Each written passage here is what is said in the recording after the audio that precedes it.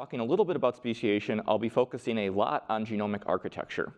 Uh, and the reason for that is if we've all been at this conference for a few days now, it's been a wonderful conference, thank you for that.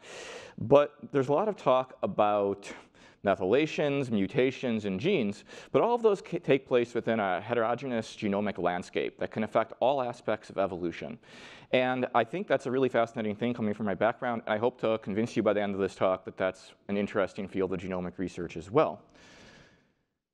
Now, my other passion that's really developed since I arrived here is falcons, and I hope to convince you that falcons are amazing birds and fantastic birds to study for a variety of reasons.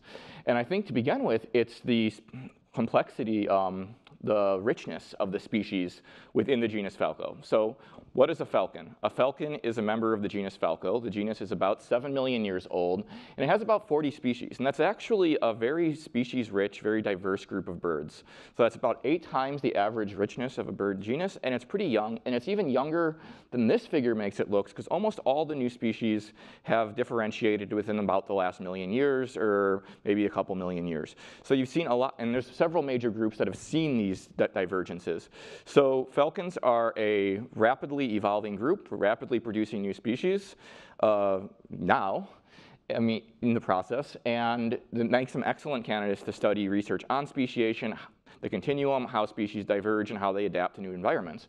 Even more so, as the single most broadly distributed bird in the world, which is saying something, is the peregrine falcon. Uh, so this is a bird that's spread across the whole world, probably across the Bering Strait and into North America.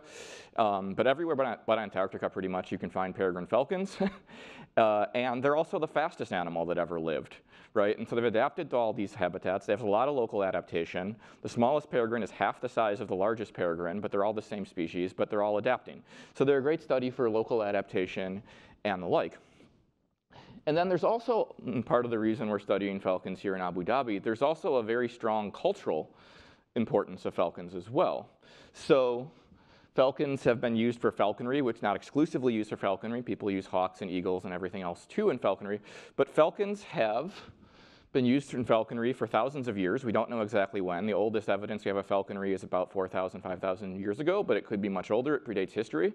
They were symbols and bred by Egyptians. Uh, the very first artifact that we found that was carved by a Neanderthal was actually a falcon bone, so it goes back even then, so this association.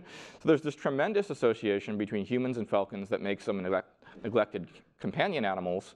And that actually persists to this day. Uh, there's falcon races. They're every winter in Abu Dhabi. If you're in Abu Dhabi in the winter and you've never been to one, I suggest you go. They're free. They're out by Abu Dhabi airport. But we have falcon races. Uh, it's basically because the Houbara are extinct. People wanted something else to continue using falcons and preserve their heritage. So they found out racing them. And so, and there's thousands of falcons bred and imported into the UAE.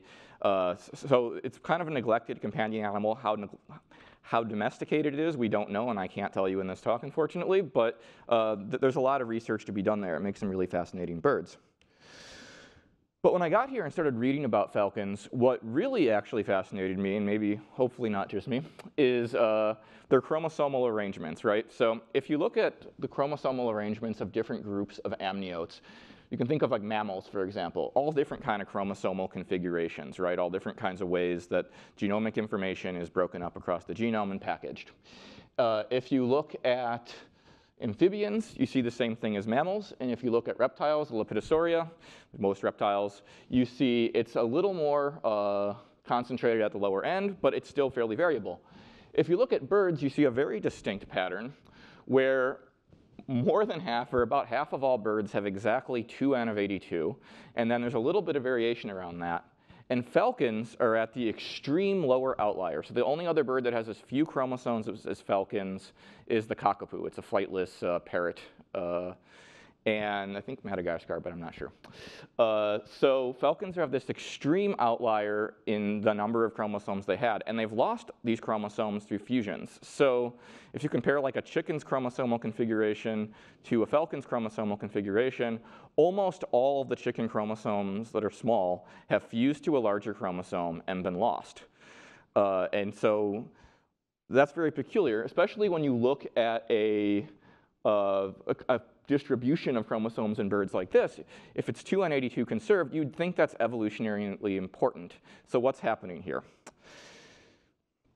And it's also interesting because it ties into a broader question of how genomes are arranged in general. So uh, genomes have sort of high GC content areas and low, and low GC, high AT content areas.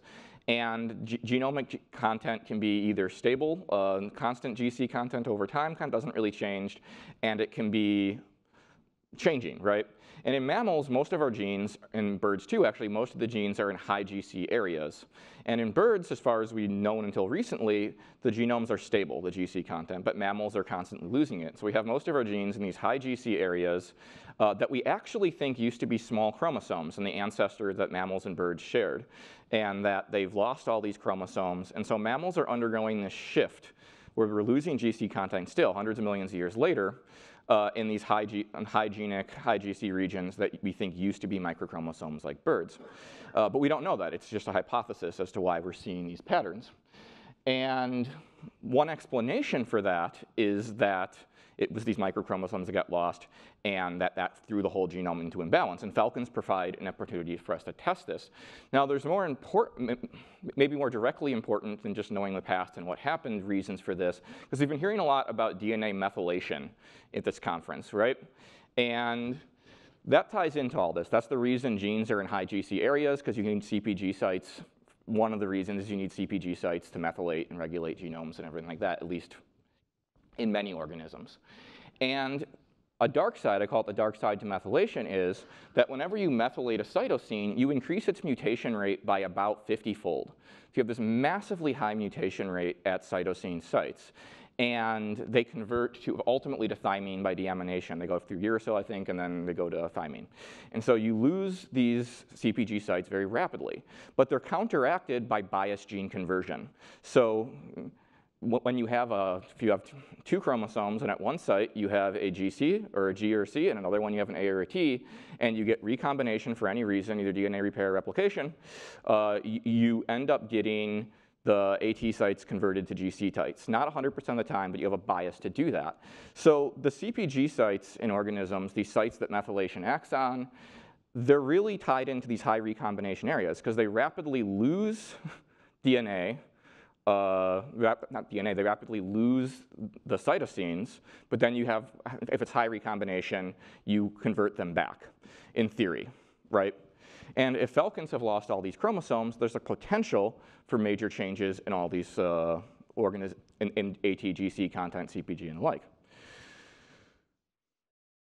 So when we got here, we needed better falcon reference genomes. I thought this was an interesting question to assess uh, in, in, this context. So we sequenced eight falcons.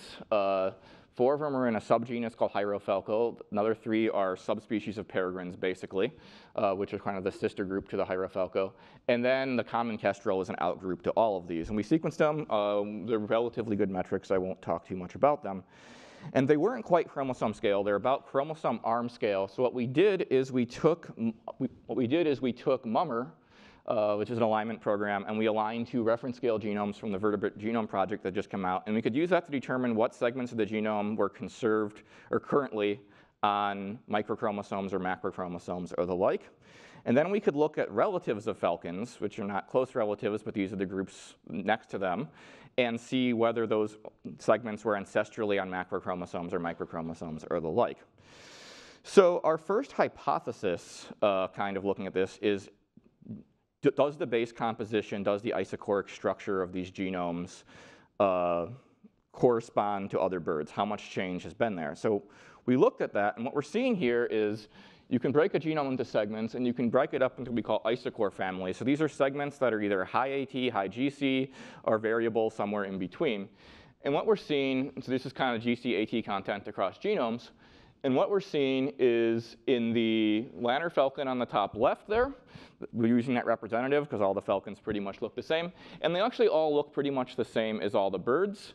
And the closest thing they look to actually is, is humans, mammals. One explanation for high GC content is temperature tolerance. That's by no means proven, but it's the reason I think maybe mammals and birds have similar ATGC content, whereas the other reptiles have much lower GC content. And birds are slightly higher falcons do, slightly higher GC content than mammals uh, for whatever reason we can discuss later. So our next question is, are these genomes in ATGC equilibrium? So at the time we did this, mammals, several mammals are reported to be out of ATGC, ATGC equilibrium. So they're rapidly losing GC content, not rapid, mammals have been losing GC, GC, content for a long time, but they are losing GC content, whereas chickens don't really seem to be. Uh, so falcons have lost chromosomes like mammals' ancestors is. Are they now out of ATGC equilibrium? So what we could do is we could take all the unique SNPs and use, and use parsimony to determine whether or not uh, whether or not these unique SNPs are derived or ancestral, and we could actually figure out the direction of these mutations. So what we could do is uh, look at the relative ones of this. We see a much higher rate, level of transitions to transversions as we expect, but we also see that falcons are out of ATGs out, out of ATGC equilibrium. So what we see on the graph on the right, your right, is the odds ratio of a GC site going to an AT site. And we looked at this with CPG sites, we looked at this without CPG sites, and we looked at it was fixed and it was heterozygous. And what we see, I think it's actually cool, if we look at the highest rate, we see it's the heterozygous at CPG sites, right? And that's that CPG hypermutability that we're getting, right? You have a lot of mutations at CPG sites, so you have a lot of, heter a lot of heter heterozygosity at these. But if you look at which one's actually fix, the blue squares, it's much lower, and that's the biased gene conversion counteracting that loss. And then, if you remove CPG sites, the whole all of it's brought down quite a bit uh, because you don't have the CPG hyper hypermutability.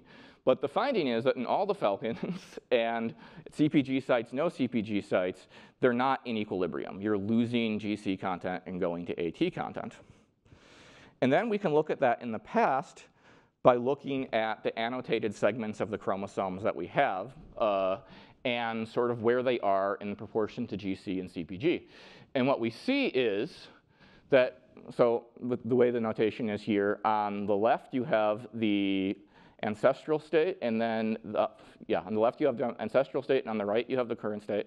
So conserved on microchromosome has the largest uh, amount of GC content, as we expect, and the large chromosomes have much lower GC content. And if we look at the microchromosome fused to large chromosomes, we actually have an intermediate level of GC content. So there's been a loss of GC content associated with fusions of these microchromosomes onto macrochromosomes. And likewise, when we look at CPG sites, the trend isn't as clear. It's a lot more variable. Uh, CPG sites are probably under heavy selection, but we still see the same trend in which we see an intermediate level on the micro-large. Um, so again, there's been a depletion of GC and a depletion of CPG in falcons. And we can also look at substitutional biases and whether these substitutional biases, we know genome-wide they're out of equilibrium, but are there segments that relate to uh, particular segments of chromosomes? And this kind of tells us whether this process is ongoing, it's in the past, and the like. and what we're seeing is there are differences, but for the, there's a strong trend, uh, but it's not that significant but between the micro-large, uh, the intermediate chromosomes and the microchromosomes and large chromosomes, and the fusions again leading to intermediate states, although it's not necessarily significant in all cases. Okay, so falcons have a lot of other really weird things with their genomes, though. So it's been reported that they have the highest amount of insertions compared to any other birds that we can find, uh, and there's a few other things there. So we wanted to see if all of these changes to genomic architecture were influencing other aspects of the genome that people have reported are really, really weird in falcons, like longer intergenic distances, insertion biases, and the like. So we were able to annotate structural variants because we used 10x genomics to let us phase everything so we could even phase structural variants and figure out heterozygous, homozygous, and everything that's there. And the result is we see, it, whether it's a large structural variant or an indel, we see a bias toward insertions in falcons uh, overall. You, get accumulating more insertions, the genome is getting larger. Uh, and if we look at this in the context of ancestral and current chromosome state, what we actually see, though, is that these insertion biases are strongly concentrated on regions that were former microchromosomes. And the explanation for this is we hear about GC bias conversion, but there have been a few reports of insertion bias conversion too in Drosophila. So we think what's happening is you have a higher recombination rate at anything that used to be on a microchromosome, and it's giving you a bias toward insertions. And so falcons, the long, one of the longest intergenic distances in insertion biases, this again seems to actually relate to chromosome loss, fusions. Everything got larger, recombination rate dropped, and now you're accumulating a larger genome. But what about repetitive elements? So in humans, half the DNA is this parasitic DNA. It's DNA that parasitizes and replicates itself throughout the genome. And one of the reasons for recombination is getting rid of repetitive elements. So we kind of wanted to see repetitive elements, what's going on with these. And we actually see a strong depletion in repetitive elements right, in falcons. So what we did here is we annotated repetitive elements and on the further left is more recent, and the further back, it's further right. I mean, further back is in the past, because it's divergence of the repetitive element from a consensus sequence. And as they decay, and it's not under selection anymore, they diverge from the consensus, and it's further in the past. And we did it on all the falcons, but we're showing the Lanner again representative, and then we did the same library of repetitive elements on all the relatives of falcons. And what we see is almost all the repetitive elements, uh, which is on the y-axis there, almost all of those are present in all the relatives that falcons diverged from tens of millions of years ago. So all the, most of the repeats are old. And if we look at, in the corner, the smaller corner ones, if we look at annotations on all of these other relatives of falcons using de novo repeats found within these, we see that there's been actually a lot of recent TE activity, a lot of recent transposable element activity, and in falcons we don't. So we can conclude from this that falcons have experienced some sort of release for some reason of transposable elements. They're not subject to the same activity of parasitic DNAs.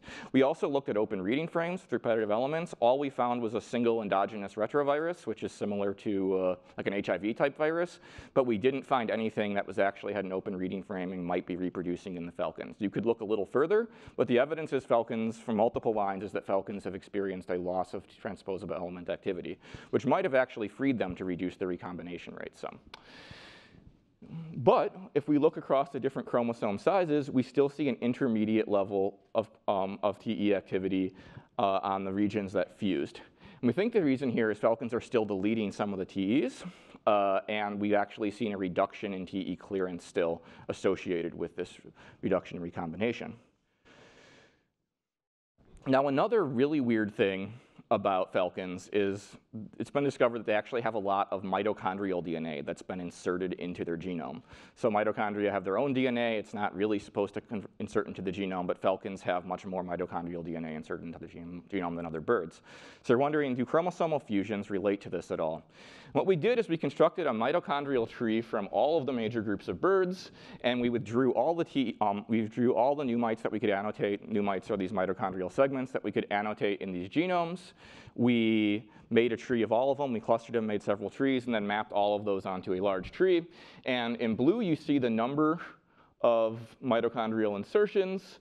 On the graph, you see the size, and you see where we estimate these inserted based on how they group with these other mitogenomes um, on the phylogeny on the left, and the red numbers indicate the time that that divergence took place. Uh, it's a time-scaled tree. And so what we see is that falcons do in fact have a lot of mitochondrial insertions, and they have huge mitochondrial insertions. So they have mitochondrial DNA insertions that are more than 90% of the mitogenome, the whole, almost the whole mitogenome just stuck into a, a, falcon genome. But we could look back and use this method to see if they were inserted onto microchromosomes or macrochromosomes now, or ancestrally onto something that would have been a microchromosome or macrochromosome. And we have not found ancestrally or in the current falcons any insertions onto microchromosomes. These, these mitochondrial DNA segments like to insert onto large chromosomes. Uh, and that could be because of selection or, whatever, or recombination gets rid of them when they insert. And the other finding we had is that after they insert, they seem to decrease in size pretty readily, uh, at least in non-falcons that have normal chromosomal configurations. So, I mean, the conclusion from this segment is that almost all aspects of the falcon genome have in some way been influenced by these chromosomal losses. Uh, and we see that can explain most of the weird things people said, like the bias toward insertions and the like. Lack of TEs is a hypothesis it's hard to test, but it could explain how they were able to get away with the reduction in, in recombination. Uh, and nonetheless, we see many aspects of falcon genomes influenced by these changes in genomic architecture. And if you want to read more about that, you can do that in our recent publication on this. And if you want to explore this or any of the other questions that I talked about earlier relating to falcons, we've also made 16 phased assemblies available on NCBI that people can use. Uh, so, uh, and I think, like I said, I think falcons are fantastic models for studying a lot of these things. But there's some other questions too, like what about the actual pop genomics? What's happening at the population scale? Because with reference genomes, we can look at sort of how they're configured, what's there, what's present, uh, but, but what's actually happening um, more broadly. And to do that, we sequenced several falcons with 10x genomics at fairly high coverage and aligned all of them to a Lanner falcon and looked at some of the population genomics. As you can see, the Lanner falcon is kind of an outgroup to both of them, but not all of them. Uh, it's just in Hierofalco. Uh, it's about 304,000 years, we estimate, from uh, the other Hierofalco, and about 600,000 years from a peregrine falcon. Um, like I said, these are all very recently diverged species, uh, but they do have different demographic trajectories in the top there. And there's been a lot of debate ongoing about whether falcons are interbreeding with each other or not, uh, whether there's admixture hybridization. Our admixture plot uh, shows no evidence that falcons are interbreeding with each other. Uh, we are running more sophisticated analyses now to conclusively see if we can say that, but there's really very little evidence that these falcons are inbreeding, at least on a large scale. It's, it's certainly not like common, uh, even if they're very closely related. If you look at unique SNPs and variants, and the polymorphic are in bold in the top, and the fixed are not in bold, we see there's not a lot of fixed differences between the Saker and Gyrfalcon, uh, but they don't interbreed. Uh, and as you'd expect, you see a lot of differences between the peregrine, which is much older than the rest of them. But now looking at some of the population genetic indicators and chromosome structure to bring it back around. Do we see a reduction in recombination rate? Because really our explanation for everything before was that if fusions happen, they lowered recombination, but that's not shown. We don't know that falcons have actually had a reduction in recombination rate. So we can ask first, do in falcons, do the macrochromosomes, intermediate chromosomes, and microsomosomes actually have differences in recombination rate? Um, look at the histograms, they do. Uh, these are kind of merged composite for different falcons uh, for statistical reasons. But if we look at the median recombination rate, it's three, depending on the falcon species, it's three to eight um, 10, 3 to 8 billionths per base pair chance of a recombination event, which is on par with other birds, but actually a little higher, but that might be problems with the methods or a lack of precision, I guess I should say. But if we look at the fusions, we do see that the fused regions have a reduced recombination relative to microchromosomes for sure. But what's surprising is they actually still have an increased recombination rate relative to large chromosomes, which we can't totally explain. There's no PRDM9 or anything like that in a bird, but there are hotspots, and it seems that some of the hotspots are in fact retained after recombination. Now we can look at nucleotide diversity, and this is going to ultimately be a metric of mutation rates. And what we see as what we'd expect with the loss of GC content and the like is we see, and remove CPG sites from all of this, but it doesn't really matter that much, is that we see that microchromosomes do seem to have higher diversity, probably higher mutation rate than the larger chromosomes. And again, though, the microchromosomes fuse to large chromosomes so an intermediate level of diversity, suggesting that they retain an elevated mutation rate after fusion. But finally, we can look at species differentiation following fusion. And what we're doing here is I'm just taking the weighted FST between different regions of the genome and seeing how different are they between these species. Because remember, they very recently diverged.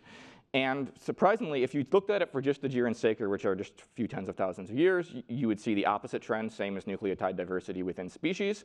But when you look at it, uh, when you look at it across all the species with much older time frame, we actually see a pretty consistent trend uh, in which the larger chromosomes have greater differentiation than the smaller chromosomes. The fused regions are showing the same thing. And that means that actually these fusions are increasing lineage sorting between species. So you actually get greater genetic differentiation more quickly because of these fusions in the falcon genomes.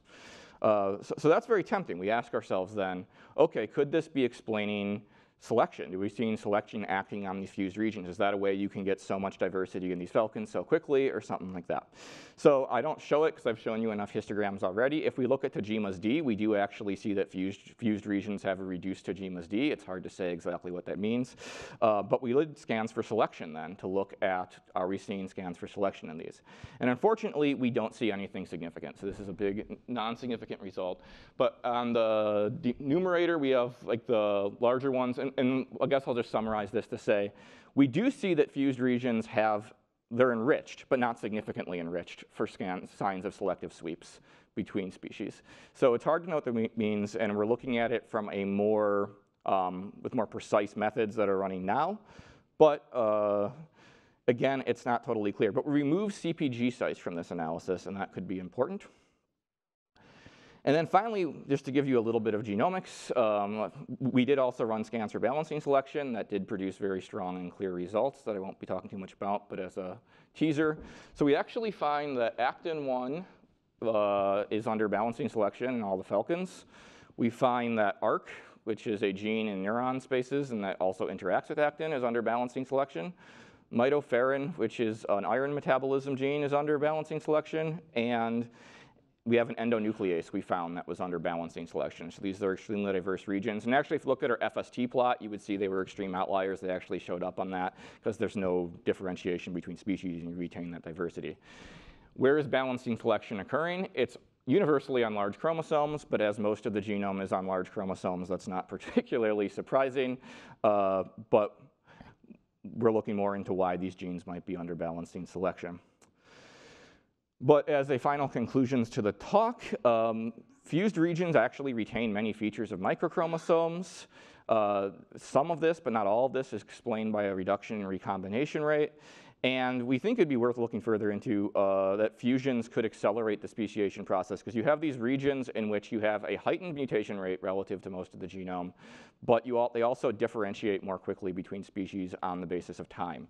Uh, and then the other big issue that we need transcriptomics we haven't done to look at, but that I think has to be looked at at some point, is you've had massive CPG loss and massive changes in regulatory frameworks and falcons as a result of these chromosomal rearrangements. And I think that's a very difficult question, but in the future, it'd be really cool for someone to look at that and see what the difference is and how, how those regulatory frameworks changed. Um, in the meantime, I have a lot of people to thank for my time here. Uh, I'm sure you've seen some of these people. And a special thanks to Susan and Inez, who organized this conference and made this possible, but also made all the research and everything else done here at the CGSB possible. And then I'd like to thank the broader Falcon community here in Abu Dhabi